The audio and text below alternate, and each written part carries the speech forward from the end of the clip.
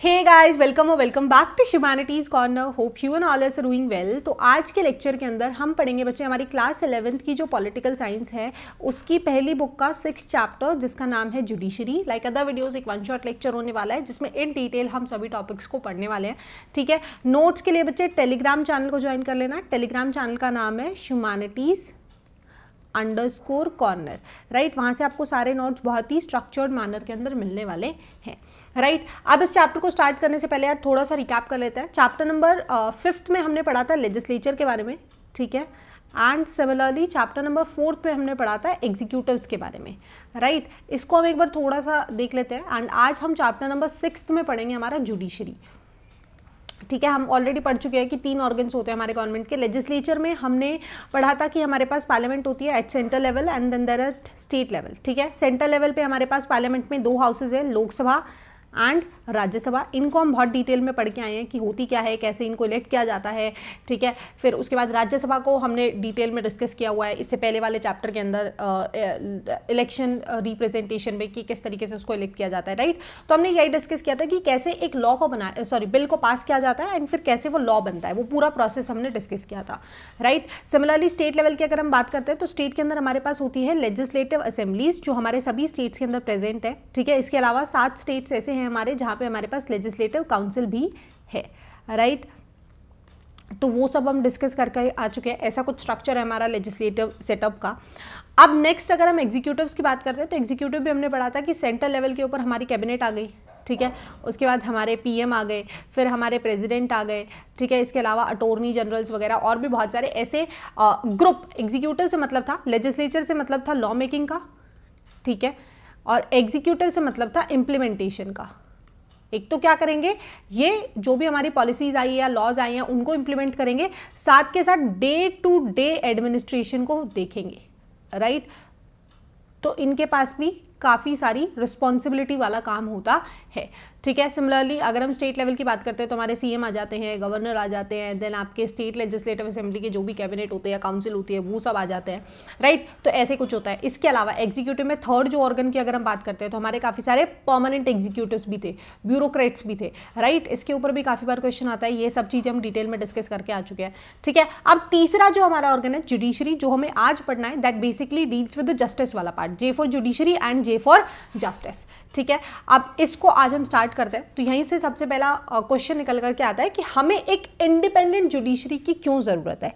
Right right? तो इसलिए है बिकॉज़ आप ही देखो सोसाइटी के अंदर दो इंडिविजुअल्स के बीच में ग्रुप्स के बीच में, सरकारों के बीच में, ठीक है स्टेट गवर्नमेंट का सेंट्रल गवर्नमेंट के साथ, एक स्टेट का, दूसरे स्टेट के साथ, आए दिन बहुत सारे डिस्प्यूट्स होते रहते हैं राइट right? तो अब इनको सेटल डाउन कौन कराएगा तो इसके लिए हमें ऐसी एक इंडिपेंडेंट बॉडी की ज़रूरत होती है, जो रूल ऑफ़ लॉ के अकॉर्डिंग इन चीज़ों को सेटल डाउन करा सके, ठीक है अब रूल ऑफ़ लॉ क्या है रूल ऑफ़ लॉ ये कहता है, भैया, कि डिस्पाइट द फैक्ट कोई भी जो इंसान है इंडिविजुअल है, वो किसी भी धर्म से बिलोंग करता है, उसका क्या जेंडर है, उसकी क्या लैंग्वेज है उसका क्या कलर है, सभी को सेम लॉज से सब्जेक्ट किया जाता है। सभी के लिए लॉज जो है वो एक समान है राइट तो कहीं ना कहीं ये इंडिविजुअल के राइट्स को प्रोटेक्ट करके रखता है है ना? जो भी हमारे बेसिक राइट्स है, अगर उनका वायलेशन होता है तो हम कहाँ जाएँगे? कोर्ट में जाएँगे। इसीलिए हमारी लीगल सुपरमेसी को मेंटेन करने के लिए हमारे पास एक इंडिपेंडेंट जुडिशियल सेटअप होना चाहिए। ठीक है। थर्ड पॉइंट देखते हैं प्रोटेक्शन अगेंस्ट डिक्टेटरशिप हमारे यहाँ पे क्या है? डेमोक्रेसी है। राइट right, तो हमारे फ्रीडम्स को कौन प्रोटेक्ट करके रखेगा? हमारी राइट्स को कौन सेफ़ करके रखेगा? जुडिशरी करेगा। तो यही कहीं ना कहीं हमारा डेमोक्रेटिक सेटअप को मेंटेन करने में हेल्प करता है। ठीक है। आगे चलते हैं फोर्थ पॉइंट के अंदर independence from political pressures right अब हमें इंडिपेंडेंट ही जुडिशरी की क्यों ज़रूरत है? हमें चाहिए कि इम्पार्शली और फेयर तरीके से जुडिशरी अपने काम को कर पाए, उसके ऊपर कोई भी ऐसा पॉलिटिकल प्रेशर ना हो, दबाव ना हो राइट तो इसीलिए हमें एक इंडिपेंडेंट जुडिशरी की ज़रूरत होती है। आगे चलते हैं। अब ये जो इंडिपेंडेंट जुडिशरी है, आखिर ये कैसे हमने दी हुई है? कैसे हमने प्रोवाइड किया? हमारे कॉन्स्टिट्यूशन में बहुत ही क्लियरली मेंशन किया गया है। सबसे पहला कि कोई भी जो एक ऑर्गन है, वो दूसरे ऑर्गन के काम में इंटरफेयर नहीं करेगा। Right so apart from judiciary जो हमारे बाकी के दो ऑर्गन्स है एग्जीक्यूटिव और लेजिस्लेचर वो जुडिशरी के कामों के अंदर दखल नहीं कर सकते हैं। Right right? अब जो जुडिशरी का डिसीज़न है, उसके अंदर कोई भी हमारा एग्जीक्यूटिव या फिर लेजिस्लेचर इंटरफेयर नहीं कर सकता। ना कोई एमपी ना कोई एमएलए राइट सिमिलरली ना हमारे एग्जीक्यूटिव एग्जीक्यूटिव्स राइट तो कहीं ना कहीं हमारे कॉन्स्टिट्यूशन के अंदर जजेस को ये पावर दी गई है कि वो बिना किसी डर के और बिना किसी फेवरेटिज्म के अपना काम सही तरीके से निभा पाए, ठीक है?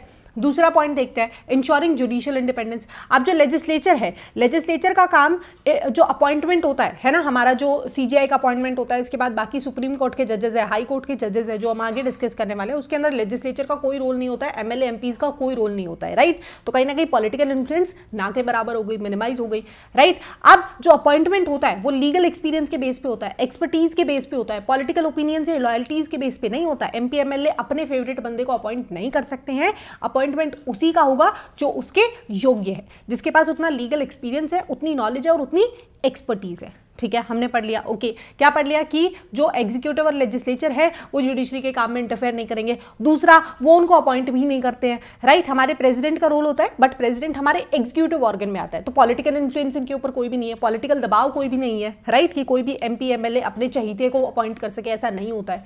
ठीक है? थर्ड आता है सिक्योरिटी ऑफ़ टेन्योर अब जजेस के पास ये राइट होता है कि वो अपनी रिटायरमेंट एज यानी पैंसठ साल तक बहुत ही अच्छी जॉब सिक्योरिटी इंजॉय करते हैं और अगर उनको रिमूव भी करना है तो वो एक बहुत ही कॉम्प्लेक्स और बहुत ही डिफ़िकल्ट प्रोसेस है राइट तो ये हो गया। आगे चलते हैं फाइनेंशियल इंडिपेंडेंस अब जजेस की जो सैलरीज है और अलावेंस है, वो हमारे कॉन्स्टिट्यूशन के थ्रू गारंटी की जाती है, एक डिफरेंट डिपार्टमेंट है राइट तो इन केस अगर हमारे यहाँ पे फाइनेंशियल इमरजेंसी लग भी जाती है तो भी उस केस के अंदर जज की पूरी पूरी सैलरी दी जाती है, ठीक है? तो पॉलिटिकल प्रेशर नहीं है फाइनेंशियली इनको स्टेबल करके दिया हुआ है कि आपकी सैलरीज के अंदर कोई कमी नहीं आएगी।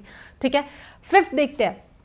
अगर जजेस के एक्शन को या डिसीजंस को है ना उसके ऊपर कोई पर्सनल अटैक कर रहा है राइट तो जुडिशरी के पास ये पावर है कि वो उनको पीनलाइज कर सकती है those for the guilty of court contempt of court है ना? तो कहीं ना कहीं हम जुडिशरी uh, को भी बहुत खुल के क्रिटिसाइज नहीं कर सकते बिकॉज़ इनके पास पावर है कि वो उस पर्टिकुलर इंसान के अगेंस्ट लीगल एक्शन ले सकती है।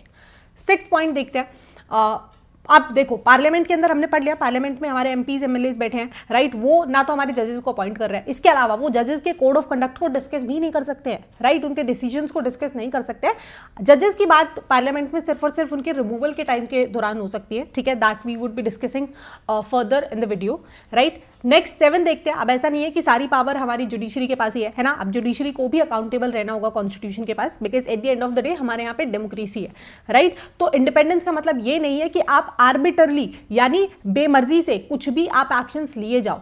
द जजेस have to be accountable to the constitution and the people of India right तो इस टॉपिक में हमने पढ़ा पहले हमने पढ़ा कि इंडिपेंडेंट जुडिशरी है ताकि वो फ्री फेयर मैनर में कर सके राइट तो अब क्वेश्चन उठता है कि इंडिपेंडेंस कैसे है? कैसे उसको बोलने से नहीं हो जाता है ना? तो क्या है? सबसे पहला कि first point is non interference कि जो बाकी के हमारे दो ऑर्गन्स हैं वो इंटरफेयर नहीं कर सकते हैं। ना वो पॉलिटिकल प्रेशर दे सकते हैं हमारी जजेस के ऊपर राइट right? तो पहला पॉइंट यहाँ से क्लियर हो गया। दूसरा आ, आ, जो अपॉइंटमेंट है, वो बहुत ही फ्री एंड फेयर तरीके से हो रहा है। अपॉइंटमेंट के अंदर कोई भी पॉलिटिकल प्रेशर अगैन नहीं है, ठीक है? तीसरा सिक्योरिटी ऑफ़ टेन्योर टेन्योर की, उनकी जो टेन्योर है कि जब तक वो पैंसठ साल के नहीं हो सकते, उनको रिटायर नहीं किया जा सकता, उनके ऊपर कोई भी ऐसा पॉलिटिकल प्रोसीजर लाया ही नहीं जा सकता है। बहुत ही डिफ़िकल्ट प्रोसेस है जजेस को रिमूव करने का।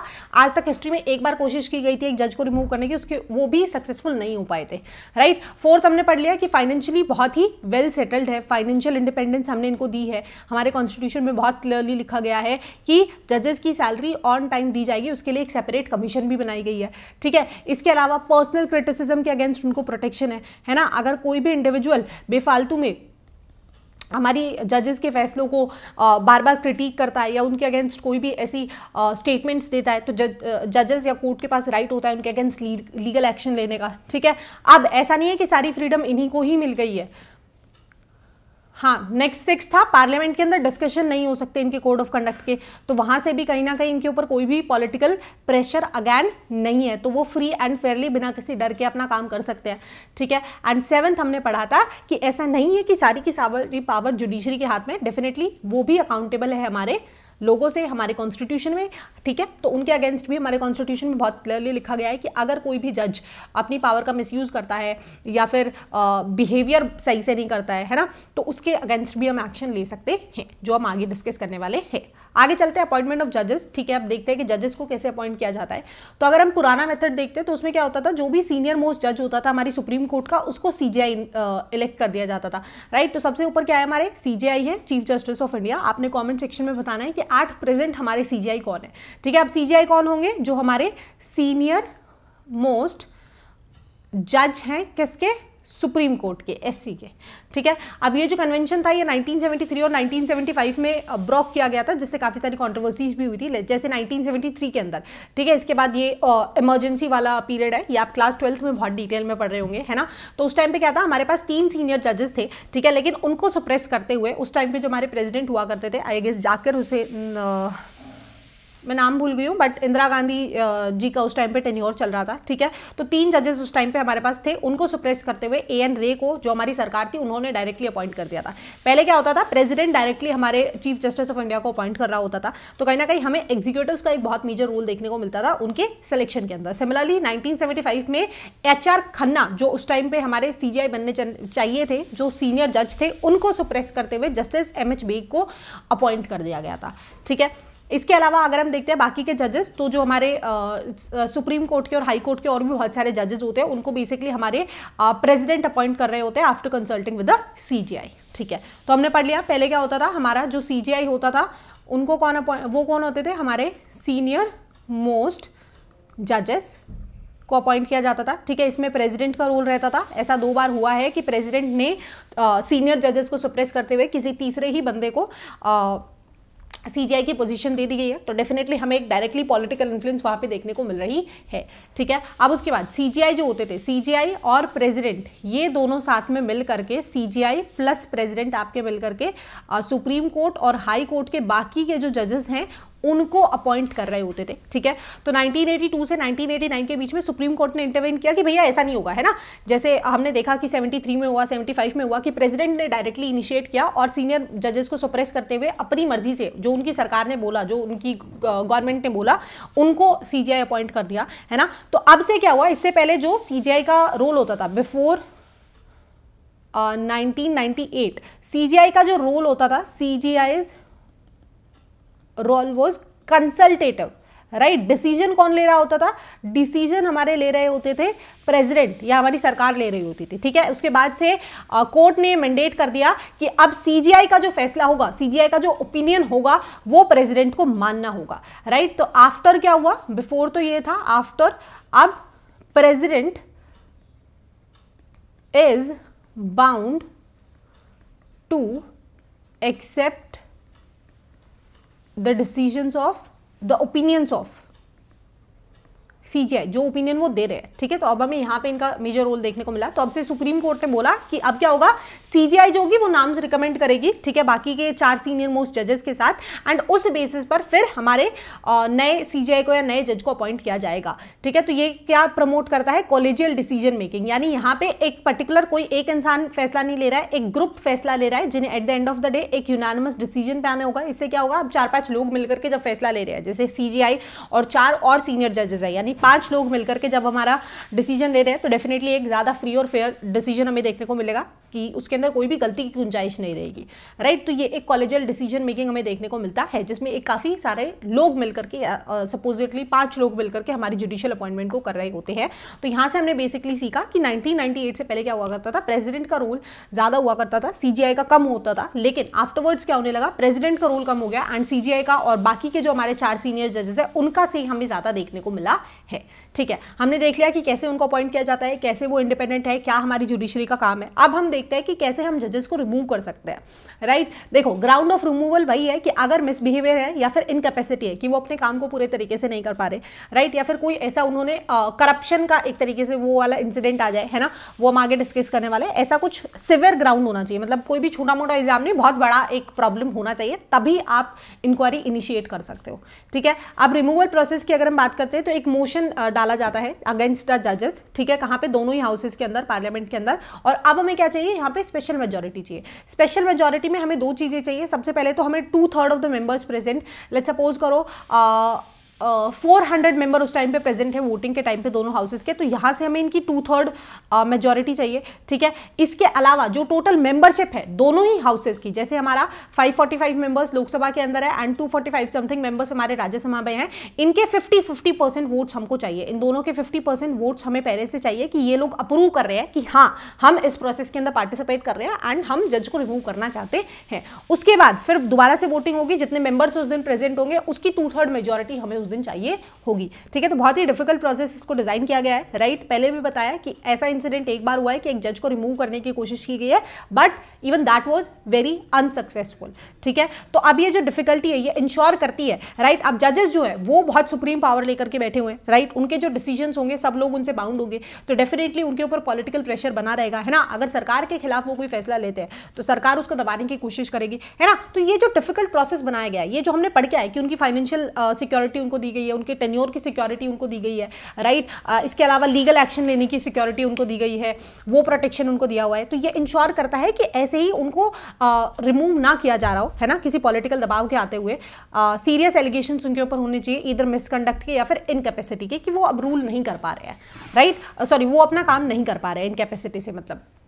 बैलेंस ऑफ़ पावर तो एग्जीक्यूटिव और लेजिस्लेचर के बीच में हमने एक बहुत ही क्लियर कट वो देखा हुआ है कि जो हमारे एग्जीक्यूटिव है, यानी जो प्रेसिडेंट है ना प्रेसिडेंट किसके एडवाइस पे एक्ट करता है? काउंसिल ऑफ़ मिनिस्टर्स की एडवाइस पे राइट तो दोनों ही हमारे एग्जीक्यूटिव के ऑर्गन है राइट तो इनका एक बहुत इंपॉर्टेंट रोल है हमारे जुडिशनल अपॉइंटमेंट में। हमने देखा कि सीजीआई के साथ प्रेसिडेंट का भी एक मेजर रोल होता है, ठीक है? और वहीं on the other hand legislature यानी पार्लियामेंट का एक बहुत रूल है हमारे जजेस के रिमूवल के अंदर। तो एक बैलेंस ऑफ़ पावर है राइट ऐसा नहीं है कि जुडिशरी बिल्कुल ही इंडिपेंडेंट बैठी हुई है। उसके अपॉइंटमेंट में भी कहीं ना कहीं हमें एक दूसरे ऑर्गन एग्जीक्यूटिव का रोल देखने को मिल रहा है। ठीक है? अपॉइंटमेंट में किसका रोल है? एग्जीक्यूटिव्स का। और रिमूवल में किसका रोल है? रिमूवल में रोल है हमारे लेजिस्लेचर का। हमने पढ़ा ना कि हमें स्पेशल मेजोरिटी चाहिए दोनों हाउसेज से मोशन पास होगा। तो ये एक बैलेंस ऑफ़ पावर हमारा मेंटेन करके रखता है ठीक है? हिस्टोरिकल कॉन्टेक्स्ट में एक केस ऐसा हुआ है जज को रिमूव करने का ठीक है? टू थर्ड मेजोरिटी उनको मिल गई थी लेकिन टोटल स्ट्रेंथ की जो हमें मेजोरिटी चाहिए थी फिफ्टी परसेंट वाली ये वाली उनको नहीं मिल पाई थी। ठीक है? कब हुआ था? नाइनटीन के अंदर हुआ था। Right one hundred and eight members of the parliament ने साइन किया था कि uh, जो उस टाइम के जस्टिस थे। वी रामास्वामी, उनको रिमूव करना था। ठीक है, ये चीफ जस्टिस थे पंजाब हरियाणा हाई कोर्ट के। इनको अक्यूज किया गया था कि इन्होंने फंड्स को मिस एलोकेट किया है मिस अप्रोप्रिएट तरीके से यूज़ किया है। ठीक है, उसके बाद इनके रिमूवल प्रोसीजर हुआ तो एक प्रॉपर कमीशन बैठी एंड उसके अंदर कमीशन में इनको गिल्टी पाया गया कि हाँ इन्होंने अपनी पावर का मिस किया है। ठीक है, और पॉलिटिकल फंड्स को इन्होंने प्राइवेट पर्पसेस के लिए यूज़ किया है। ठीक है तो कहीं ना कहीं जो हमारा कॉन्स्टिट्यूशन है या जो राइट्स है, उनका कहीं ना कहीं वॉयलेशन किया गया है। ठीक है? अब इतने स्ट्रॉन्ग एक्यूजमेंट होने के बाद भी इतने स्ट्रॉन्ग एलिगेशन होने के बाद भी रामास्वामी जो थे वो रिमूव नहीं हो पाए वो सर्वाइव कर गए बिकॉज़ टू थर्ड मेजोरिटी उनको मिल गई थी। राइट uh, प्रेजेंट right थे उन्होंने वोट किया था लेकिन अब हमें जो 50 परसेंट वाली मेजोरिटी थी उसमें कांग्रेस ने वोट करने से अबस्टेन कर दिया था तो डेफिनेटली एक मेजर चंक ऑफ़ वोट नहीं मिल पाए थे और वो 50 परसेंट वाली मेजोरिटी का क्राइटेरिया क्लियर नहीं हो पाया था। ठीक है? आगे चलते हैं स्ट्रक्चर ऑफ़ जुडिशरी की अगर हम बात करते हैं। हमारे यहाँ पे यूनिफाइड सिस्टम नहीं है जो हमें आ, कुछ यूएसए वगैरह में देखने को मिलता है गेस हमारे यहाँ पे एक पिरामिड स्ट्रक्चर है यानी हमारे हायराइकी मैनर में। देखो सबसे ऊपर आती है हमारी सुप्रीम कोर्ट ये क्या एपेक्स बॉडी है जुडिशियल सिस्टम की ठीक है? हाइएस्ट अथॉरिटी है सुप्रीम है राइट सुप्रीम ही है सुप्रीम कोर्ट है हमारी सुप्रीम राइट उसके बाद सेकेंड नंबर पर आती है हमारी हाई कोर्ट जो हमारी जस्ट सुप्रीम कोर्ट के नीचे होती है। हर स्टेट की या कुछ ग्रुप ऑफ़ स्टेट की एक हाई कोर्ट होती है जैसे चंडीगढ़ सॉरी पंजाब और हरियाणा की एक ही हाई कोर्ट है दैट इज़ चंडीगढ़ राइट तो कुछ दो तीन स्टेट्स की भी एक हाई कोर्ट होती है, या फिर सेपरेट स्टेट्स की सेपरेट हाई कोर्ट्स भी होती हैं। उसके बाद नीचे लेवल पे आती है हमारी डिस्ट्रिक्ट या सबॉर्डिनेट कोर्ट हर एक डिस्ट्रिक्ट के अंदर डिस्ट्रिक्ट कोर्ट्स होती है। उसके बाद नीचे हमारी मजिस्ट्रेट कोर्ट या फिर सिविल कोर्ट्स भी होती हैं। आगे चलते हैं तो थोड़ा सा डिटेल इसके अंदर दिया हुआ है। सुप्रीम कोर्ट की अगर हम बात करते हैं तो अगर सुप्रीम कोर्ट ने कोई भी डिसीज़न दिया है तो उसका बाकी तीनों ही कोर्ट्स के ऊपर वो डिसीज़न बाइंडिंग होगा। हाई कोर्ट को मानना पड़ेगा डिस्ट्रिक्ट कोर्ट को मानना पड़ेगा और सबॉर्डिनेट कोर्ट्स को भी मानना पड़ेगा राइट अब इसके अलावा ये हाई कोर्ट के जजेस को भी ट्रांसफ़र कर सकती है, ठीक है? ट्रांसफ़र जजेस ऑफ़ हाई कोर्ट अब कोई भी जो केस है अगर वो आ, क्या है ऊपर से नीचे, नीचे से ऊपर की तरफ़ भी आ सकता है। इनकेस कोई केस हाई कोर्ट में चल रहा है डिस्ट्रिक्ट कोर्ट में चल रहा है तो वो अपने पास भी अपने डोमेन में भी उसको ला सकती है। ठीक है? इसके अलावा वो हाई कोर्ट से केसेस दूसरी कोर्ट्स के अंदर भी ट्रांसफ़र करने का पावर रखती है। ये हो गया हमारा सुप्रीम कोर्ट के बारे में। नेक्स्ट हम हाई कोर्ट के बारे में देखते हैं, ठीक है? तो हाई कोर्ट क्या हो सकता है? हमारी लोअर कोर्ट की अपील सुन सकती है। सिमिलरली सुप्रीम कोर्ट बाकी नीचे की तीनों कोर्ट्स की अपील सुन सकती है राइट इसके अलावा वो रिट इशू कर सकती है। अगर फंडामेंटल राइट्स को रिस्टोर करना है रिट्स को हम ऑलरेडी डिस्कस करके आए हुए हैं, है ना? फ़र्स्ट फ़र्स्ट चैप्टर में आई गेस नहीं देखा है तो आप देख सकते हो चैनल पर ऑलरेडी अवेलेबल है। अब नेक्स्ट अगर हम देखते हैं can deal with the cases within the jurisdiction of the state है ना? अब हाई कोर्ट का काम है कि जो स्टेट के ज्यूरिस्डिक्शन में केसेस आ रहे हैं, उनको वो डील आउट करती है, उनको वो रिजॉल्व करने की कोशिश करती है। Exercise superintendence and control over courts below it right अब जैसे सुप्रीम कोर्ट का कंट्रोल हमें बाकी नीचे वाली तीन कोर्ट्स पर देखने को मिलता है। सिमिलरली हाई कोर्ट के नीचे जो भी कोर्ट्स है, उनके ऊपर उसका कंट्रोल रहता है। जो पावर सुप्रीम कोर्ट के पास है, इन तीनों के केस में वो हाई कोर्ट के पास है, बाकी की नीचे की दो कोर्ट्स के रिगार्ड में। Okay okay. आगे आते हैं। Third one is at district court तो डिस्ट्रिक्ट कोर्ट बेसिकली डिस्ट्रिक्ट के अंदर जो भी केसेस आ रहे हैं, उसको लेकर के डिसीजंस ले रही होती है। उन कन्फ्लिक्ट को रिजॉल्व करा रही होती है। ठीक है? नीचे वाली कोर्ट की अपील को ले सकती है लोअर कोर्ट इससे नीचे जो सबॉर्डिनेट कोर्ट्स है। ठीक है? सीरियल क्रिमिनल ऑफेंसेस को लेकर के यहाँ पे ज़्यादातर केसेस आ रहे होते हैं। सबॉर्डिनेट कोर्ट्स के अंदर अगैन डिफरेंट डिफरेंट सिविल और क्रिमिनल नेचर के दोनों ही तरीके के केस आ रहे होते हैं। यहाँ पे हमें हाई कोर्ट या सबॉर्डिनेट डिस्ट्रिक्ट कोर्ट्स को डिटेल में नहीं पढ़ना है। हमें सिर्फ़ और सिर्फ़ सुप्रीम कोर्ट को डिटेल में पढ़ना है तो एक बार इसको देख लेते हैं। तो यार यहाँ पे पहले एक फ्लो चार्ट दिया हुआ है इसको डिस्कस कर लेते हैं फिर डिटेल में हम एक एक पॉइंट को डिस्कस करेंगे। ठीक है सबसे पहले अगर हम ज्यूरिस्टिक्शन की बात करते हैं तो सबसे पहला तो ओरिजिनल यानी ओरिजिनली अगर हम फ़ंक्शन देखते हैं सुप्रीम कोर्ट का so that is to settle down the dispute between union and state अगर यूनियन गवर्नमेंट का स्टेट गवर्नमेंट के साथ कोई डिस्प्यूट चल रहा है या फिर अगर स्टेट गवर्नमेंट का किसी दूसरे स्टेट के साथ दो या तीन स्टेट्स का कोई डिस्प्यूट चल रहा है uh, ये यूजुअली रिवर वाटर बॉडीज को लेकर के होता है बाउंड्रीज को लेकर के होता है राइट तो उसको सेटल डाउन कराना हमारा सुप्रीम कोर्ट का काम है।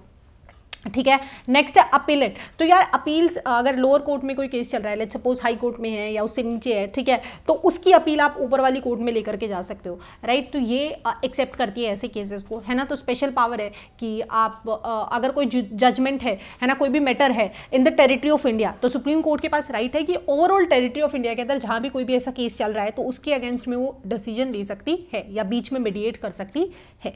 राइट थर्ड है हमारा एडवाइजरी फ़ंक्शन की अगर हम बात करते हैं तो ये प्रेसिडेंट को एडवाइज कर रही होती है पब्लिक इंपॉर्टेंस या लो को लेकर के जो भी मैटर होते हैं, ठीक है? तो यहाँ पे भी हमें इसका एक बहुत मेजर फ़ंक्शन हमें देखने को मिलता है।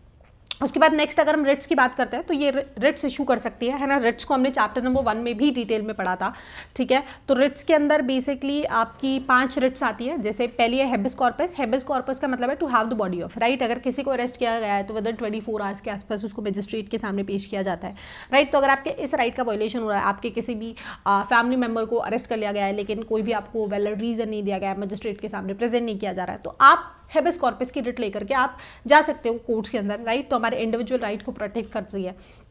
सिमिलरली सेकेंड रेट की अगर बात की जाए मेंडेमस मेंडेमस का मतलब है टू कमांड अगर ये रेट इशू की जाती है किसी भी पब्लिक डिपार्टमेंट या पब्लिक ऑफिसर के अगेंस्ट अगर वो अपनी ड्यूटी नहीं कर पा रहा है तो राइट right? उसके बाद थर्ड है प्रोहिबिशन प्रोहिबिशन का मतलब प्रोहिबिट टू फॉरबिड कर दिया है. अगर हाई कोर्ट है, जैसे सुप्रीम कोर्ट से नीचे हाई कोर्ट है, वो अपने डोमेन से बाहर, अपने ज्यूरिस्डिक्शन से बाहर, अपने एरिया से बाहर, है ना? अपने स्टेट के बाहर अगर किसी और एरिया जो उसकी ज्यूरिस्डिक्शन में आता भी नहीं है, उसके केसेस को लेने की कोशिश कर रही है तो सुप्रीम कोर्ट उनको रेट दे सकती है कि नहीं भैया, ये आपका डोमेन नहीं है राइट तो प्रोहिबिशन की रट दी जा सकती है। उसके बाद करटोरी है तो कर्टोरी का मतलब है टू बी सर्टिफाइड या फिर टू बी इन्फॉर्म्ड अगर लोअर केट के अंदर कोई भी ऐसा केस चल रहा है, ठीक है तो सुप्रीम कोर्ट कह देते हैं, या तो आप इसको क्वाश कर दो खत्म करो, इसको फारिग करो, ठीक है, या फिर आप इसको हमारे को दे दो, ऊपर वाली कोर्ट के अंदर इशू कर दो। ठीक है? उसके बाद नेक्स्ट है क्यू हो, यानी आप वारंट इशू कर रहे हो। ठीक है? बाय वॉट अथॉरिटी अगर कोई भी ऐसा इंडिविजुअल है, जिसने इलीगली किसी भी ऑफ़िस को पब्लिक ऑफ़िस को होल्ड किया हुआ है राइट किसी मिसकंडक्ट के थ्रू करप्शन के थ्रू राइट तो उनके अगेंस्ट में रिट इशू की जाती है। ठीक है? तो ये पाँच रेट्स को भी आई थॉट एक्सप्लेन कर देते हैं बिकॉज़ एट टाइम जितनी बार चीज़ें आएँगी, आप साथ के साथ रिवाइज करते चलोगे तो उतनी ज़्यादा अंडरस्टैंडिंग आपकी उस पर्टिकुलर सब्जेक्ट के ऊपर बनती चली जाती है। ठीक है? तो अब हम वन बाय वन इनको डिटेल में डिस्कस करते हैं starting with the first one original jurisdiction ठीक है? तो ये डायरेक्ट केसेस लेती है। Supreme court lower court court के अंदर अगर कोई भी केस चल रहा है तो उसको डायरेक्टली अपनी कोर्ट के अंदर लेकर के आ सकती है। सेकेंड अगर हम फेडरल डिस्प्यूट की बात करें, अगर यूनियन और स्टेट गवर्नमेंट में कोई भी डिस्प्यूट है, या फिर डिफरेंट स्टेट्स के अमंग कोई भी डिस्प्यूट है तो उसको कौन रिजॉल्व कराएगी, उसमें कौन मेडिएट करेगा? हमारा सुप्रीम कोर्ट ठीक है? अब ये जो अथॉरिटी है, ऐसे केसेस को हैंडल करने की अमंग स्टेट है या सेंटर स्टेट के बीच में अगर कोई भी डिस्प्यूट है, वो सिर्फ़ और सिर्फ़ हमारी सुप्रीम कोर्ट के पास है हाई कोर्ट या लोअर कोर्ट ऐसे केसेस को नहीं ले सकती है। ठीक है? तो ये क्या करती है? एक एम्पायर की तरह काम करती है राइट फेडरल डिस्प्यूट के केसेस में। ये बेसिकली पावर को इंटरप्रेट करती है। यूनियन को उनकी पावर बताती है एंड स्टेट को उनकी पावर बताती है। इनमें से जो भी अपनी पावर का मिसयूज करने की कोशिश कर रहा होता है, उसके अगेंस्ट में एक्शन या डिसीज़न लिया जाता है। ठीक है? सेकेंड पॉइंट की तरफ़ चलते हैं तो रिट है ना? अगर हमारे फंडामेंटल राइट्स को वायलेट किया जा रहा है तो हम डायरेक्टली सुप्रीम कोर्ट जा सकते हैं राइट अब सुप्रीम कोर्ट क्या करती है? ऐसी स्पेशल रिट्स को इशू करती है। किसके अगेंस्ट एग्जीक्यूटिव के अगेंस्ट जो एक पर्टिकुलर मैनर में एक्ट नहीं कर रहे हैं, या फिर अपने डोमेन से बाहर कोई काम करने की कोशिश कर रहे हैं, ठीक है? चॉइस ऑफ़ कोर्ट अब इंडिविजुअल की चॉइस है कि वो रिट्स को लेकर के हाई कोर्ट में जाना चाहे हाई कोर्ट में जा सकता है डायरेक्टली सुप्रीम कोर्ट में जाना चाहे तो सुप्रीम कोर्ट में भी जा सकता है। ठीक है? थर्ड जो हमारा फ़ंक्शन था दैट इज़ अपीलेट जुरिस्डिक्शन की अगर हम बात करते हैं तो सुप्रीम कोर्ट अपील्स लेती है against the decision of the high court ठीक है? हाई कोर्ट में कोई केस गया है, नहीं उसकी बात बन पाई है। तो जो पार्टीज़ है, वो ऊपर केस लेकर के जा सकती है। लेकिन इसके अंदर हाई कोर्ट को ये सर्टिफाई करना पड़ेगा कि इसके अंदर कुछ ना कुछ सीरियस इंटरप्रेशन है लॉ की, है ना? लॉ को इंटरप्रेट करना है कॉन्स्टिट्यूशन को इंटरप्रेट करना है राइट तो उसके बाद जब हाई कोर्ट सर्टिफाई कर देती है तो आप उस केस को लेकर के सुप्रीम कोर्ट में जा सकते हैं। ठीक है? क्रिमिनल केसेस की अपील स्पेसिफिकली अगर lower case sorry lower court ने अगर किसी को डेथ सेंटेंस दे दिया है तो डेफिनेटली आप उसकी अपील लेकर के सुप्रीम कोर्ट में जा सकते हैं, ठीक है? उसके बाद रिकन्सिडरेशन ऑफ़ केसेस आप सुप्रीम केस का सॉरी सुप्रीम कोर्ट कोर्ट और केस में बहुत सारी कन्फ्यूज़न हो रही है रेली सॉरी फॉर दैट ठीक है? सुप्रीम कोर्ट केसेस को रिकन्सिडर करती है है ना? अगर लेट सपोज़ लोअर कोर्ट ने कोई डिसीज़न दे दिया है ना?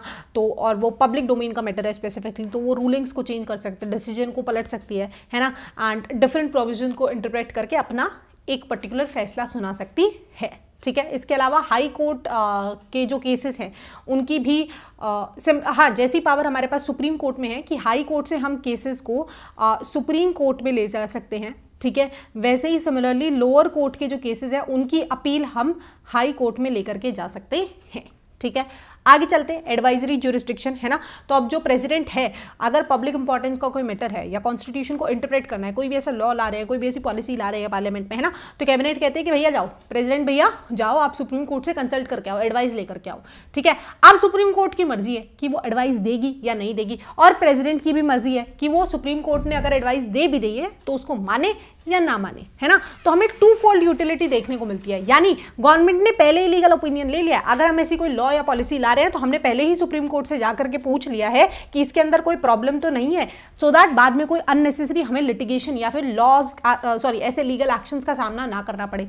ठीक है? इसके अलावा इन्होंने क्या किया? ऑलरेडी गवर्नमेंट ने जब उनसे पूछा, है ना? इन केस अगर बता दिया हमारी सुप्रीम कोर्ट ने कि नहीं भैया, आप इस बेसिक फंडामेंटल को इस पॉलिसी में आप नहीं कर सकते हो, इसके अगेंस्ट में फिर लीगल एक्शन होगा, आप पर्टिकुलर आर्टिकल को वायलेट कर रहे हो, है ना? तो वो चेंजेस कर सकते हैं। तो इसका एक बहुत ही मेजर बेनिफिट हमें देखने को मिलता है स्पेशली हमारी पॉलिसी मेकिंग के अंदर या फिर लीगल फॉर्मेट्स के अंदर है ना? कुछ भी ऐसा नया लेकर के आ रहे हैं तो ठीक है? तो अभी तक जो पार्ट था दैट वॉज़ वेरी बेसिक जिसके अंदर हमने पढ़ा कि आ, कैसे हमारी जो कोर्ट्स हैं वो इंडिपेंडेंस है कैसे हमारे जजेस को अपॉइंट किया जाएगा कैसे उनको रिमूव किया जाएगा राइट फिर हमने सुप्रीम कोर्ट के फ़ंक्शंस को पढ़ लिया एंड ऐसे ही कुछ सिमिलर फ़ंक्शंस हमारी नीचे वाली कोर्ट्स के भी होते हैं है ना? तो हमने पढ़ लिया कि कैसे कैसे काम होते हैं अपील्स डाली जा सकती है आप रिट्स इशू करा सकते हैं है ना? क्या क्या केसेस को वो ले सकती हैं है ना? एडवाइजरी जुरिस्डिक्शन को देख लिया। इसके अलावा बाकी हमने सब कुछ पढ़ लिया है। तो ये बेसिक पार्ट था। अब आते हैं एक बहुत ही इंटरेस्टिंग टॉपिक के ऊपर। दैट इज़ जुडिशियल एक्टिविज्म ठीक है? अब जुडिशियल एक्टिविज्म का मतलब क्या है? जब जुडिशरी हमारे क्या करती है? पब्लिक कंसर्न्स को एड्रेस करती है। जो हमारा एक ट्रेडिशनल सेटअप था ना कि कोर्ट का काम है सिर्फ़ और सिर्फ़ फैसले लेना डिसीज़न लेना। आज के टाइम पे हमारी जो कोर्ट्स हैं, वो बहुत सारे डिफरेंट डिफरेंट इशूज़ के ऊपर बातचीत कर रही है। राइट तो बहुत सारे ऐसे इशूज़ है। फॉर एग्ज़ाम्पल वुमेन के राइट्स को लेकर के बहुत सारी बात हो रही है। ट्रिपल तलाक के ऊपर बहुत सारे पिल्स पब्लिक इंटरेस्ट लिटिगेशन पहले समझा देती हूँ। पब्लिक इंटरेस्ट लिटिगेशन क्या होता है? अब हर इंसान के पास यार इतना पैसा नहीं है कि वो कोर्ट में जाए कचहरियों में जाए, अपने केसेस को लेकर के जाए। काफ़ी सारे ऐसे केसेस होते हैं ऐसी प्रॉब्लम्स होती है जिनसे एक अकेला इंसान ना इम्पैक्ट होकर के एक पूरा ग्रुप ऑफ़ इंसान हमारा इम्पैक्ट हो रहा होता है। तो उनके बेसिस पर, ठीक है? तो उनके बेसिस पर क्या कर सकते हैं? हम पीआईएल फ़ाइल कर सकते हैं। तो पीआईएल अलाउज इंडिविजुअल्स और group to file cases on behalf of those whose rights are violated जिनके राइट्स को वायलेट किया जा रहा है। है ना? ट्रिपल तलाक वाला आपका एक एग्ज़ाम्पल था। उसमें बहुत सारे केसेस थे, उसमें बहुत सारी पिल्स भी फ़ाइल की गई थी। राइट वुमेन्स के राइट्स को लेकर के बहुत सारे इशूज हो रहे होते हैं। सेक्शुअल हरासमेंट को लेकर के। राइट तो बहुत सारी ऐसे जनरल इंटरेस्ट है ना? अगर मार्जलाइज सेक्शन है ट्राइबल लोगों को लेकर के, है ना? अगर कहीं पर कोई कंस्ट्रक्शन प्रोजेक्ट आया है तो वहाँ के लोगों को अगर कोई इम्पैक्ट हो रहा है, उनको कंपेंसेशन नहीं दिया जा रहा है। उनको वहाँ से ज़बरदस्ती हटाया जा रहा है। तो उन सबको लेकर के आपकी पिल्स आ सकती है। राइट एंड आज के टाइम पे तो बहुत ही हॉट टॉपिक्स चल रहे हैं सेम सेक्स मैरिज को लेकर के, ठीक है? इसके अलावा होमोसेक्सुअल्स के राइट्स को लेकर के, है ना? तो ये बहुत ही ट्रेंडिंग टॉपिक्स आज के टाइम पे चल रहे हैं। एंड हम देख रहे हैं कि अपने ट्रेडिशनल जो उनकी एक अप्रोच बनी हुई थी, है ना? कोर्ट उसके बाहर जा करके और ऐसे पब्लिक कंसर्न्स को लेकर के बहुत सारे फैसले ले रही है, ऐसे केसेस को ले रही है, ठीक है? तो उसमें एक केस आता है हमारे पास पब्लिक इंटरेस्ट लिटिगेशन का, बहुत सारी पिल्स आए दिन फ़ाइल होती है डिफरेंट डिफरेंट केसेस को लेकर के, ठीक है? तो पिल के अंदर क्या होता है? बेसिकली आप किसी ऐसे ग्रुप या इंडिविजुअल के बिहाफ पे आप केस कर रहे हो जिसके राइट्स को वायलेट किया जा रहा है even if you are not directly affected right आगे चलते हैं हिस्टोरिकल कॉन्टेक्स्ट की अगर हम बात करते हैं तो पिल का जो कॉन्सेप्ट है वो सेवनटीन नाइनटीन सेवेंटी नाइन के बाद से बहुत ज़्यादा इमरजेंसी में हमें देखने को मिला है। अब कोर्ट उसके बाद से क्या करती है ऐसे आ, पिल्स के ऊपर भी काफ़ी सारे फैसले आए हैं काफ़ी सारी अच्छी जजमेंट्स भी आई हैं ठीक है जिनसे बहुत ही major section of the society को इम्पैक्ट हुआ है। राइट एक्सपेंशन ऑफ़ राइट कहीं ना कहीं सुप्रीम कोर्ट के अंदर प्रिजनर्स के राइट को लेकर के पहले बात नहीं करते थे। जेल में जो कैदी हैं, ठीक है, अब उनको लेकर के बहुत सारी बातें होती हैं। उनको लेकर के बहुत सारी पेल्स एड्रेस की गई थी कि उनके साथ वहाँ पे मिसकंडक्ट होता है, ठीक है। वहाँ पे बहुत सारे विद इन जेल्स अगर हम देखते हैं, बहुत सारे सेक्शुअल हरेसमेंट के केसेस हो रहे होते हैं और भी बहुत सारे उनके साथ ट्रिगर टोर्चर्स हो रहे होते हैं। राइट तो बहुत सारे ऐसे लॉयर्स थे, बहुत सारी ऐसी बड़ी बड़ी लॉ फॉर्म्स थी जिन्होंने उनके राइट्स के बारे में बात की, ठीक है। तो ये पब्लिक इंटरेस्ट के लिए, उसके बाद से जो फैसले लिए गए सुप्रीम कोर्ट ने उन केसेस को लिया और वो उनके ऊपर प्रॉपर बहुत ही स्ट्रिक्ट लॉज भी आए हैं। ठीक है तो इम्पैक्ट अगर हम देखते हैं पिल का या जुडिशियल एक्टिविज्म का है ना? जुडिशरी हमारी और भी ज़्यादा एक्टिव हो गई है। जुडिशियल एक्टिविज्म का यही मतलब समझ लो तुम। ठीक है कि वाइडर एक्सेस है अब जस्टिस का है ना? अब आ, लोगों के पास ऐसा कोई इशू आ रहा है है ना? तो उसके अगेंस्ट में बहुत सारी बड़ी बड़ी फॉर्म्स बड़े बड़े लॉयर खड़े हो जाते हैं कि हम आपका केस लेकर के जाएँगे है ना? तो पब्लिक स्पिरिटेड सिटीजन को और ऑर्गेनाइजेशन को अब ये राइट मिल गया है कि वो जुडिशियल इंटरवेंशन कर सकते हैं ताकि सोसाइटल इश्यूज़ के ऊपर बातचीत हो सके उनको लेकर के स्ट्रिक्ट लॉज पॉलिसीज़ आ सके राइट तो अब बहुत सारे ऐसे केसेस न्यूज़पेपर रिपोर्ट्स और पोस्टल कंप्लेंट्स के थ्रू भी हमारी सुप्रीम कोर्ट ने लिए हैं, ठीक है? अब प्रोटेक्शन अब इससे क्या हुआ है? कोर्ट्स ने और भी डिफरेंट इश्यूज़ को, अब हमारे बेसिक एक राइट होते थे, जैसे राइट टू लाइफ है राइट टू आपका लिबर्टी हो गया राइट टू फ्रीडम हो गया right to expression of speech हो गया, है ना? उसके अलावा भी और भी बहुत सारे डोमेन्स हैं जिनके ऊपर बातचीत होने लगी है। जिनसे क्या हुआ है? हमारे एग्जिस्टिंग राइट तो प्रोटेक्ट हुए हुए हैं। इसके अलावा हमारी लिविंग कंडीशंस को लेकर के बहुत सारे राइट्स आए हैं। इन्वायरमेंट के प्रोटेक्शन को लेकर के बहुत सारे राइट्स आए हैं। ठीक है? इसके अलावा और भी बहुत सारे ऐसे पब्लिक इंटरेस्ट कंसर्न हैं, जिनके ऊपर पहले बातचीत नहीं होती थी, जिनको एक टैबू समझा जाता था, उनके ऊपर बहुत सारी बातचीत हमें देखने को मिली है। ठीक है? और बहुत ही रिमार्केबल जजमेंट्स भी हमें देखने को मिली है, जैसे कि एक्सपेंशन हुआ है राइट का। कोर्ट ने सोसाइटल राइट्स के अंदर कहा है कि हर इंसान का हक है कि उसको क्लीन एयर मिले अनपोल्यूटेड वाटर मिले, एक डिसेंट लिविंग कंडीशन मिले। ठीक है? इसके अलावा कोर्ट्स ने काफ़ी सारी सोशल ऑर्गेनाइजेशन को और लॉयर्स को अलाउ किया है कि वो पिल्स फ़ाइल कर सकते हैं marginalised sections of the society अगर बच्चों को लेकर के कोई भी वायलेशन हो रहा है ह्यूमन ट्रैफिकिंग हो रही है है ना? इसके अलावा ऐसे बहुत सारे रैकेट्स को आ, आ, होते हैं जो बच्चों को लेके जाते हैं स्लेव ट्रेडरी टाइप का कुछ ऐसा कराने के लिए है ना?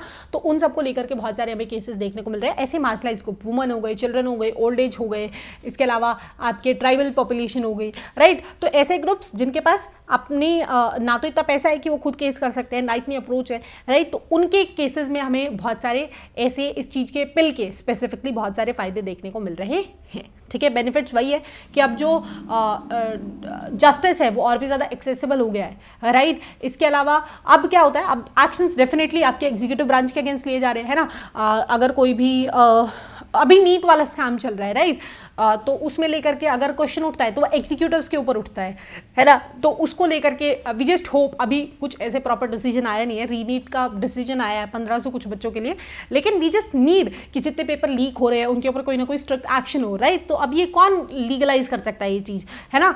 तो ये चीज़ सुप्रीम कोर्ट के अंदर बहुत सारे केसेस जाते हैं, अभी नीट को लेकर के भी स्पेसिफिकली केस गया था, उसी के बाद ये पंद्रह सौ री नीट वाला पैटर्न आपके पास देखने को मिला है कि इन बच्चों का री नीट होगा राइट तो एग्जीक्यूटिव ब्रांच और भी ज़्यादा अकाउंटेबल हो जाते हैं बिकॉज़ क्वेश्चन उठता है, उंगली उठती है, किसके ऊपर उठती है? एग्जीक्यूटिव के ऊपर उठती है because they are ones who are implementing things and they are ones who are administrating the day to day function सारी जिम्मेदारियाँ मेजर रिस्पॉन्सिबिलिटी उन्हीं के ऊपर है राइट right? तो इससे कहीं ना कहीं हमें एग्जीक्यूटिव ब्रांच और भी ज़्यादा पार्शियल और फेयर तरीके से काम में आती हुई दिखाई देनी पड़ती है। ठीक है नॉट एग्जैक्टली बट कहीं ना कहीं हम कह सकते हैं कि उनके ऊपर भी एक इम्पैक्ट देखने को हमें मिलता है, ठीक है? इसके अलावा इलेक्टोरल रिफॉर्म्स अब जो सुप्रीम कोर्ट थी, इन्होंने ही मैंडेट किया था कि कैंडिडेट्स को अपनी एसेट्स को डिस्क्लोज करना होगा। Electoral bonds right best example है। अभी अभी सुप्रीम कोर्ट ने डेटा मांगा इलेक्टोरल बॉन्ड्स का, और आया वो राइट तो ये सब चीज़ें डिस्क्लोज करना इनकम डिस्क्लोज करना एजुकेशनल क्वालिफिकेशन है ना? ट्रांसपेरेंसी इन इलेक्शन ये जो आपके अब एक प्रॉपर हर इंसान का एक वो निकलता है कि उसको अपनी प्रॉपर्टी बतानी होगी एजुकेशनल क्वालिफिकेशन बतानी होगी, उनके ऊपर कितने क्रिमिनल केसेस चल रहे होंगे। राइट वो सब चीज़ें लिखी होती है। ये फैसला किसने लिया था? ये फैसला लिया था सुप्रीम कोर्ट ने। उसके बाद से ये चीज़ें वैलिड होने लगी हैं। ठीक है? आगे चलते हैं। क्रिटिसिज्म आप काफ़ी लोग क्रिटिसाइज करते हैं कि कोर्ट्स ने ये सारा जुडिशियल एक्टिविज्म का इतनी सारी पिल्स लेकर के बिकॉज़ आए दिन बहुत सारी पिल्स फ़ाइल हो रही होती है। जुडिशरी का वर्कलोड बढ़ गया है। डेफिनेटली वर्कलोड बढ़ गया बिकॉज़ हमारे पास इतना एडमिनिस्ट्रेटिव या पॉलिटिकल सेटअप नहीं है, जो इन सब चीज़ों को गेज आउट कर पाए। है ना? इसीलिए केसेस सालों सालों तक अटके रहते हैं। ठीक है। इसके अलावा काफ़ी बार कहा जाता है कि जुडिशरी एग्जीक्यूटिव और लेजिस्लेचर के कामों के अंदर दखल अंदाजी कर रही है। जैसे पोल्यूशन को रिलीज़ करना है करप्शन को इन्वेस्टिगेट करना है इलेक्टोरल रिफॉर्म्स का जो स्पेसिफिकली इशू है, वो लेजिस्लेचर के थ्रू हैंडल किया जाता है। एंड अब क्योंकि सुप्रीम कोर्ट इन सब चीज़ों में इंटरवीन कर रही है तो हमें कहीं ना कहीं वो जो सेपरेशन था पावर का, वो हमें डिसरप्ट होता हुआ देखने को मिलता है। तो ये जो डेलीकेट बैलेंस हमें बना हुआ है है ना? तो इसके अंदर हमें कि तीनों ही जो ऑर्गन्स है, वो एक दूसरे के काम में इंटरवीन नहीं करेंगे। बट डेफिनेटली चेंजिंग टाइम्स है राइट विद टाइम चीज़ें चेंज होती है ऐसा नहीं है कि हम उसी ट्रेडिशनल सेटअप पे चलते आएँगे राइट तो काफ़ी केसेस के अंदर जुडिशरी सही भी है। काफ़ी केसेस के अंदर है कि वो काफ़ी बार एग्जीक्यूटिव या लेजिस्लेचर के मामलों के अंदर इंटरवीन कर रही है, ठीक है? तो ये एक रफ टफ बैलेंस हमें दोनों तरफ़ से हमेशा ही देखने को मिलता ठीक है, आगे चलते हैं जुडिशरी एंड राइट्स की बात करते हैं। कॉन्स्टिट्यूशन में अगर प्रोविज़न देखें तो इंडियन जुडिशरी रिट्स के थ्रू या फिर जुडिशियल रिव्यू के थ्रू हमारे फंडामेंटल राइट्स को प्रोटेक्ट करती है, साथ के साथ हमारे कॉन्स्टिट्यूशन को इंटरप्रेट करती है। तो अगर हम बहुत ही अभी तक जो हमने गेस्ट पढ़ा, उसके अंदर अगर हम देखते हैं तो हमारी जुडिशरी का अगर हम फ़ंक्शन देखते हैं फ़ंक्शन अगर हम देखते हैं तो उसमें हमने देख लिया कि जस्टिस प्रोवाइड करती है राइट right? कैसे करती है? अगर हमारे फंडामेंटल राइट्स वायलेट हो रहे हैं तो क्या कर सकते हैं? हम कोर्ट के पास जा सकते हैं वो क्या करती है? रिट्स इशू कर सकती है, ठीक है? इसके अलावा एक और सबसे इंपॉर्टेंट फ़ंक्शन आता है कि ये क्या है? इंटरप्रेटर है। कॉन्स्टिट्यूशन का राइट right? हमारे कॉन्स्टिट्यूशन में बहुत सारे ऐसे आर्टिकल्स हैं, बहुत सारे ऐसे फंडामेंटल्स हैं, बहुत सारे ऐसे डिफरेंट डिफरेंट प्रोविजंस लिखे गए हैं राइट right? तो उनको कौन इंटरप्रेट करता है जब सरकार कोई ऐसा डिसीज़न लाने की कोशिश करती है तो उनको इंटरप्रेट करती है हमारी कोर्ट्स ये भी हम आगे डिटेल में डिस्कस करने वाले हैं हम जब राइट टू प्रॉपर्टी को डिस्कस करेंगे राइट right? अब सुप्रीम कोर्ट आर्टिकल बत्तीस के तहत और हाई कोर्ट आर्टिकल दो सौ छब्बीस के तहत रिट्स को इशू कर सकती है फंडामेंटल राइट्स को रिस्टोर करने के लिए वन मार्कर के लिए ऐसे क्वेश्चन बड़े इंपॉर्टेंट है ठीक है अब जुडिशियल रिव्यू की अगर हम बात करें तो सुप्रीम कोर्ट ऐसे लॉज जो अनकॉन्स्टिट्यूशनल है, जो अगर हमारे कॉन्स्टिट्यूशन को वॉयलेट करते हैं आर्टिकल थर्टीन कहता है कि जो हमारे आर्टिकल थर्टीन के अकॉर्डिंग हमारी जो क्या बोलते हैं लेजिस्लेचर या एग्जीक्यूटिव जो डिपार्टमेंट है, वो कुछ ही पार्ट को हमारे जो कॉन्स्टिट्यूशन है, उसको चेंज कर सकते हैं, लेकिन बेसिक स्ट्रक्चर को चेंज नहीं किया जा सकता। अगर आर्टिकल 13 को वॉयलेट करने की कोशिश की जाती है, कोई भी ऐसे लॉज आते हैं जो हमारे कॉन्स्टिट्यूशन को वॉयलेट करते हैं तो सुप्रीम कोर्ट के पास ये राइट है भैया कि वो उन लॉज को अनकॉन्स्टिट्यूशनल डिक्लेयर कर सकती है। ठीक है? रिट्स के अंदर हम ऑलरेडी पढ़ चुके हैं टाइप ऑफ़ रिट मैंने बहुत डिटेल में आपको पहले भी पढ़ाया है इस चैप्टर के अंदर। ठीक है? पर्पज यही है कि फंडामेंटल राइट्स को रिस्टोर करना है एंड रेमेडीज प्रोवाइड करनी है, अगर राइट्स का वॉयलेशन होता है तो। थर्ड पॉइंट देखते हैं तो जुडिशियल रिव्यू आता है ठीक है? तो जुडिशियल रिव्यू का मतलब है it refers to the power to examine कि लॉज कितने कॉन्स्टिट्यूशनल है राइट right? वो हमारे कॉन्स्टिट्यूशन के किसी पर्टिकुलर uh, प्रोविज़न का वॉयलेशन तो नहीं कर रहे होते है ना? तो अब एक्सप्लिसिटली हमारे कॉन्स्टिट्यूशन में लिखा हुआ नहीं है डायरेक्टली ठीक है? लेकिन जो अबिलिटी है राइट right, किसकी? हमारी सुप्रीम कोर्ट uh, की कि वो ऐसे लॉज uh, को स्ट्राइक डाउन कर सकती है उनको क्वैश कर सकती है उनको खत्म कर सकती है उनको अनकॉन्स्टिट्यूशनल आइडेंटिफाई कर सकती है अगर वो हमारे फंडामेंटल राइट्स को वायलेट करता है। डायरेक्टली नहीं लिखा हुआ है जुडिशियल रिव्यू के बारे में, लेकिन जो पावर्स हमारी सुप्रीम कोर्ट को दी गई हैं राइट सो उनसे कहीं ना कहीं यही से मतलब निकल करके आता है, ठीक है? तो स्कोप की अगर हम बात करते हैं तो ये क्या करती है? हमारे ऐसे लॉज को रिव्यू करती है जो हमारे फंडामेंटल राइट्स को वायलेट करता है, ठीक है? जुडिशियल रिव्यू की अगर हम बात करते हैं, ऐसे लॉज को रिव्यू करती है, अगर जो जो पावर डिस्ट्रीब्यूशन है यूनियन और स्टेट के बीच में, अगर यूनियन स्टेट को सुप्रेस करके उसकी पावर्स को अपनी तरफ़ लेने की कोशिश करता है तो डेफिनेटली उसके अंदर भी ये इंक्वायरी बिठा करके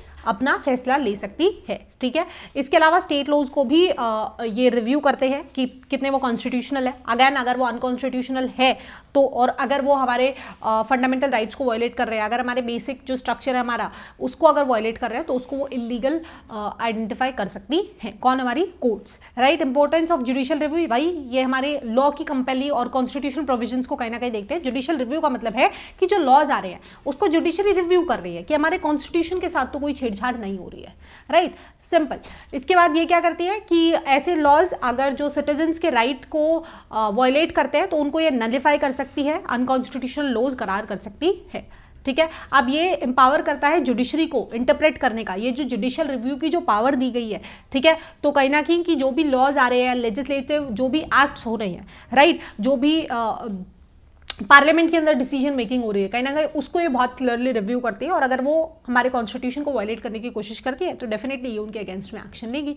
राइट तो हमने देख लिया कि ये इंटरप्रेटर है कॉन्स्टिट्यूशन का। कैसे है कि अगर कोई भी ऐसे लॉज आ रहे हैं, अगर कोई भी ऐसी पॉलिसीज़ आ रही है, जो हमारे कॉन्स्टिट्यूशनल प्रोविजंस को डिमीन कर रही है, उनको वॉयलेट कर रही है, हमारे फंडामेंटल राइट्स को वॉयलेट कर रही है तो वो क्या कर सकते हैं? उसको नलीफाई कर सकते हैं, उसको खारिज कर सकते हैं। राइट नेक्स्ट है पब्लिक इंटरेस्ट लिटिगेशन तो जो पी का कॉन्सेप्ट हम पढ़ के आए हैं इससे कहीं ना कहीं हमारी जुडिशरी का रोल और भी ज़्यादा स्ट्रेंथन हो गया है ठीक है? हमारे जो सिटीजन के राइट है at the end of the day P citizen के राइट को लेकर के डाली जा रही है ना कि कुछ ऐसे ग्रुप है कुछ ऐसे लोग हैं जो नहीं जा सकते कोर्ट्स तो उनके बिहाफ पे उनके राइट के अगर वॉयलेशन हो रहे हैं तो आप कोर्ट में जा रहे हो राइट अब इससे जस्टिस और भी ज़्यादा एक्सेसिबल हो गया है इवन मार्जलाइज या फिर disadvantage section of the society को भी इनका फ़ायदा देखने को मिल रहा है ठीक है? आगे चलते हैं जुडिशियल एंड पार्लियामेंट की अगर हम बात करते हैं तो जो जुडिशियल रिव्यू है right right, scope of judicial review के अंदर अगर हम देखते हैं तो आज के टाइम पे प्रेसिडेंट और गवर्नर की पावर्स को भी देखा जाता है।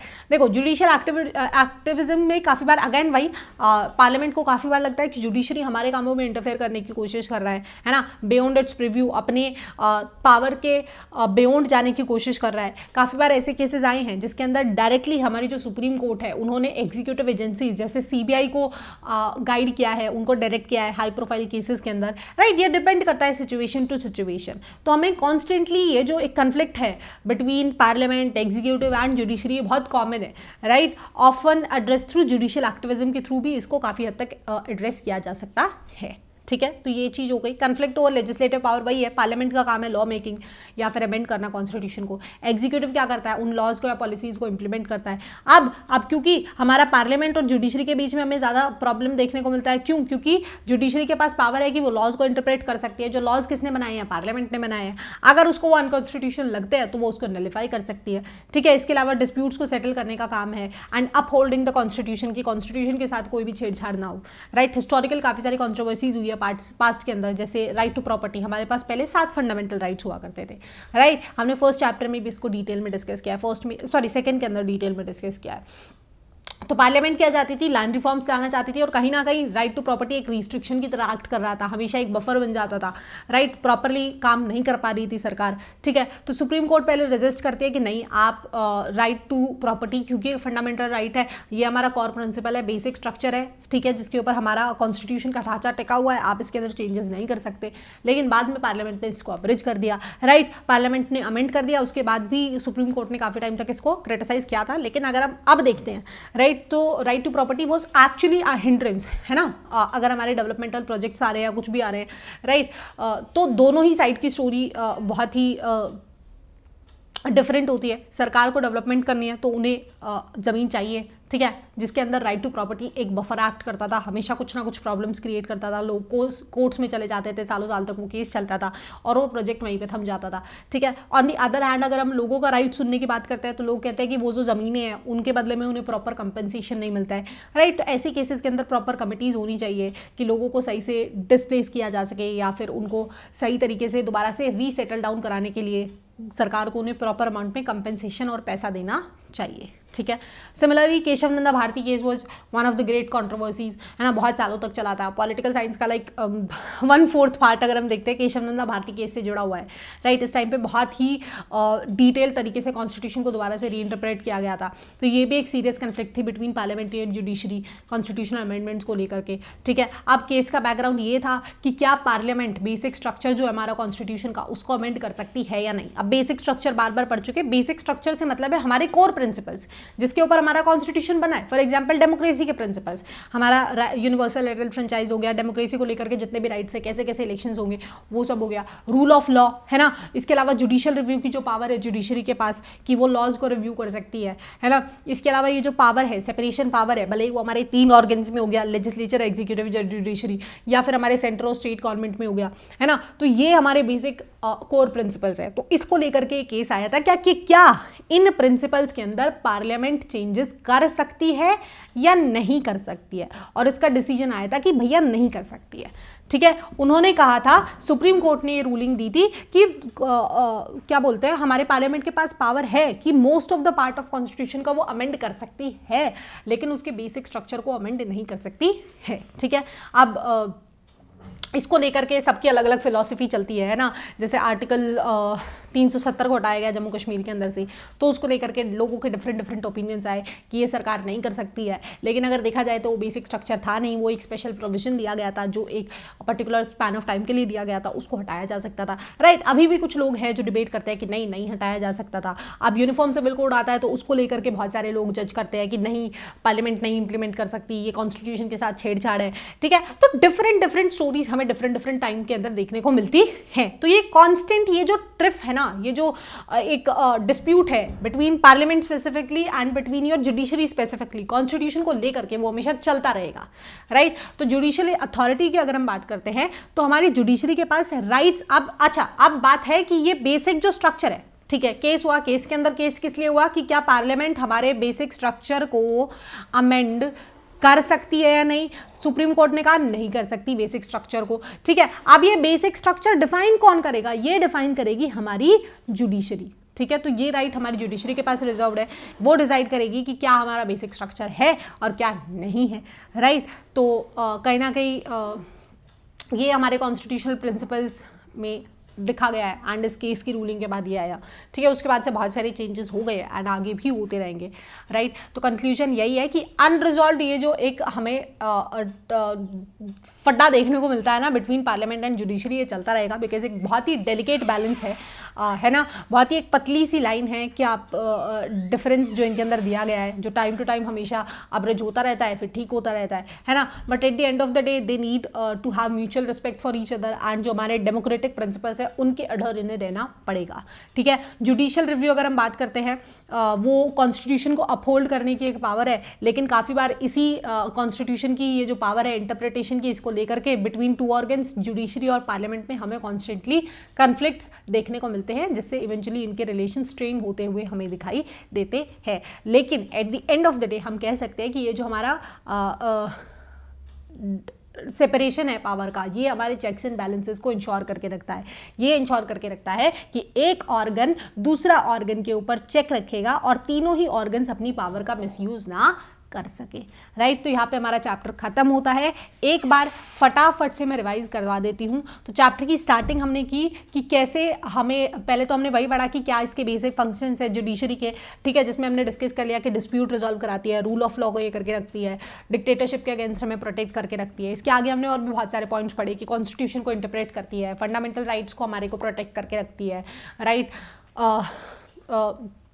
अगर पार्लियामेंट अपनी पावर का मिसयूज़ करने की कोशिश कर रही है तो उसके अगेंस्ट में एक्शन ले सकती है। अगर कोई ऐसा लॉ ला रही है, जो हमारे फंड कॉन्स्टिट्यूशन के प्रिंसिपल्स को वायलेट करता है तो उसको वो नलीफाई कर सकती है राइट right? तो उसके बाद हमने पढ़ा कि कैसे हमारी जुडिशल इंडिपेंडेंस है, कैसे है कि जो बाकी के ऑर्गन्स है, वो इंटरफेयर नहीं कर सकते। अपॉइंटमेंट जो है, उसके अंदर पार्लियामेंट का कोई भी रोल नहीं है। वो कंप्लीटली स्किल के बेसिस पे होता है। सिक्योरिटी है टेन्योर की फाइनेंशियल सिक्योरिटी इनको दी जाती है। पर्सनल क्रिटिसिज्म के अगेंस्ट ये एक्शन ले सकती है। ठीक है पार्लियामेंट में इनको कोई डिस्कस नहीं किया जाता तो ये भी एक सिक्योरिटी है right but the end of the day ये भी अकाउंटेबल होती है। आगे चलते हैं जजेस का अपॉइंटमेंट हमने पढ़ लिया कि पहले क्या होता था सीजीआई जो होता था उन्हीं को सीनियर मोस्ट जज अपॉइंट कर देते थे हमारे प्रेसिडेंट डायरेक्टली है ना? जैसा 73 में हुआ और 75 में हुआ कि जो सीनियर जजेस एक्चुअली में जो डिजर्व करते थे उस पोजीशन को, उनको ना दे करके किसी गवर्नमेंट के चहीते को दे दी गई थी राइट तो उसके बाद बहुत सारे फिर सुप्रीम कोर्ट थोड़ा एक्टिव हुई 1982 में 1998 के अंदर। उसके अंदर क्या किया? उससे पहले सीजीआई का जो कंसल्टेटिव रूल होता था, उसको अब बाउंड कर दिया कि उनका जो भी ओपिनियन होगा, उसको प्रेसिडेंट को मानना पड़ेगा। तो सीजीआई का रूल हमें बढ़ता हुआ दिखाई दिया, ठीक है? जो आज के टाइम तक अभी चल रहा है। रिमूवल ऑफ़ जजेस का हमने पढ़ लिया कि एक बहुत ही डिफ़िकल्ट प्रोसेस है। आपको क्या चाहिए? आपको सबसे पहले स्पेशल मेजोरिटी चाहिए, यानी two third of the members जो भी उस टाइम पे प्रेसिडेंट तो उनकी वोटिंग चाहिए। इसके अलावा आपको मेजोरिटी चाहिए टोटल मेंबरशिप की ऑफ़ ईच हाउस ठीक है? Okay okay. आगे चलते हैं। अनसक्सेसफुल अटेम्प्ट हम देख सकते हैं। वी रामास्वामी का 1992 में उनको हटाने की कोशिश की गई थी, लेकिन नहीं हटा पाए थे। स्ट्रक्चर ऑफ़ जुडिशरी हमने पढ़ लिया कि हमारे यहाँ पे एक पिरामिड स्ट्रक्चर है। सबसे ऊपर हमारी सुप्रीम कोर्ट होती है, जो हमारी सुप्रीम है एपेक्स बॉडी है। ठीक है, उसके बाद then there is high court and then there is supreme district and subordinate court जिनको हमने डिटेल में थोड़ा थोड़ा डिस्कस किया। ऑल हमने सुप्रीम कोर्ट को ज़्यादा डिटेल में डिस्कस किया क्या क्या फ़ंक्शन है ऑरिजिनली क्या क्या फ़ंक्शन है, कि डायरेक्टली कन्फ्लिक्ट को रिजोल्व करा रही होती है फेडरल डिस्प्यूट्स को। राइट और इनके पास ही अथॉरिटी है, बाकी किसी कोर्ट के पास ही अथॉरिटी नहीं है। उसके बाद रिट्स को ये इशू कर सकती है। देन उसके बाद आपकी अपेलेट जो रेस्ट्रिक्शन अपील्स डाली जा सकती है, उसके अलावा एडवाइजेस दे सकती है प्रेसिडेंट को, जो at the end of the day क्या करता है कि एक लीगल ओपिनियन मिल जाता है सरकार को कोई भी नई लॉ या पॉलिसी लाने से पहले। उससे क्या होता है, आपको अननेसेसरी लिटिगेशन नहीं देखना पड़ता। ऑन द अदर हैंड अगर उसके अंदर कोई भी ऐसे प्रोविजंस हैं जो हमारे कॉन्स्टिट्यूशन को वायलेट कर रहे हैं तो हमारी सरकार सतर्क हो जाती है और उनके अंदर चेंजेस ले सकती है।